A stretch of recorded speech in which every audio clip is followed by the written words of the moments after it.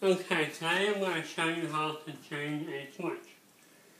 This switch has a number on it, we don't want that anymore, it's kind of old anyway. The first thing you want to do is go around it and kind of score the paint so you don't rip your paint off the wall.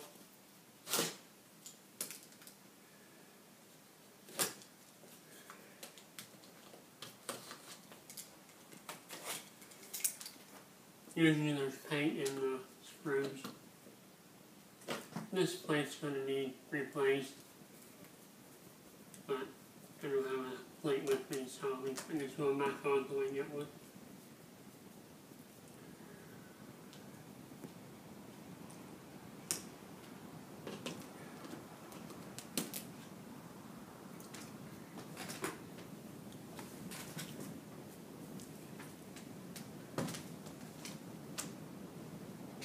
Alright, we'll pull that out and see what we got here. We've assured ourselves that the electric is off. We uh, found the breaker that controls this. And we shut it off. Um, one thing I, I want to tell you about switches is a switch is just a break in the electrical circuit. It can be on the hot wire, which it normally is, that is practice today or it can be on the white wire.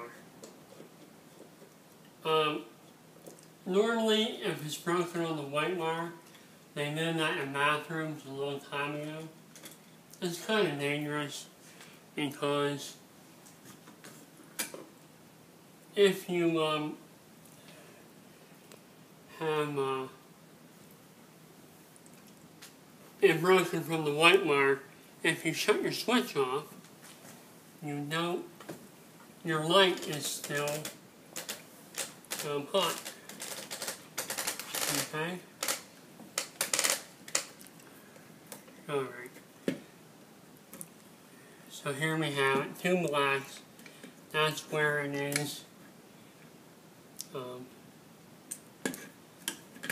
switch that. There's a rod which we won't need anymore. Um, this ground wire, I'm going to go ahead and leave this. We already have a problem in this box. And you can see, the ground is not hooked up to anything. So, I'm going to have to come back, put the ground wire in there with the ground screw, and renew that. And that's unacceptable um, practice there. Do it like that. This also looks like 14 gauge wire. And I think there's a 20 amp right here in the basement. That will also need to be addressed. Um, one thing I also want to tell you, if you do it like I did here with your wire cutters, you cannot ring the wire because electricity flows on the outside of the wire. If you do that, you'll cause heat. And you don't want to do that. Um, like I was saying, if you're switched to the light, which I only really see that in old bathrooms, be careful because if you shut the switch off, your light is still energized. And if you're up there changing your fixture or something, you have live wires. Uh, I did see that a couple times in regular rooms in old houses. You really don't see it anymore. But um, you want to install your switch so it says off and on the bottom it says on. If you do it like this, it says no and uh, file. You know what that. Alright. Um, in our jurisdiction, they don't want the, the actual plug or, or device running, unless this is a plastic box. If it is, you would use this rod. It's not, we need to come back and ground this box with that ground wire. That's essential. but and I have a video on how to do a plug and it demonstrates that. Like I said before, you can't do nothing with the ground trees and the grammar. You always need them. Um, so basically, I put a little men on the wires. Always use your screws. That's the best connection you can get. Alright. Also, I like to bend this wire around a little bit more. You also want to watch how much you strip your wire. Half inch will do it. Always put your curve so it follows the screw. Alright, so when you tighten up, it doesn't want to push it out. So if it tightens like this, you want to wrap your wire like that.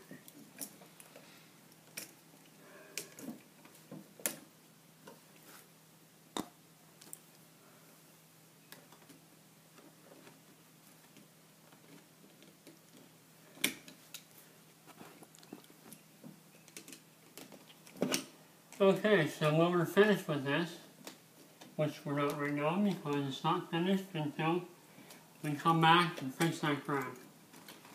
There's actually no reason not to have um, a properly grounded uh, um, device. So, but I wasn't aware of it, and I'm sorry I don't have a ground wire and a ground screw. Maybe we'll do another video on how to run the device. Strictly that.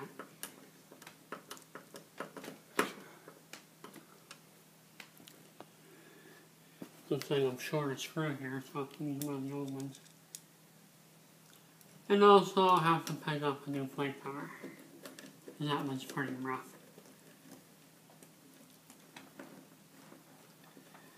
But that's all it takes to change your switch. Main thing is make sure power's off. You want to check it with a tester and with some gauges to make sure that is off before you even start.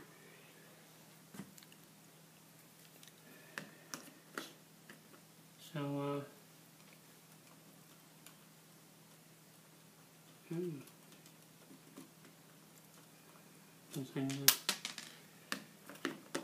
Okay, here we'll put these screws back in until we find a, uh, get a new receptacle cover, switch plate cover.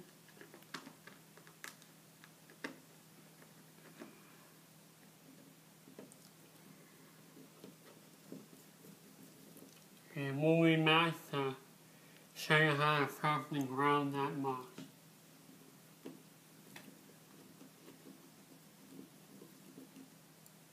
Alright, there you go. That's all takes to fix your switch. If it goes bad. You.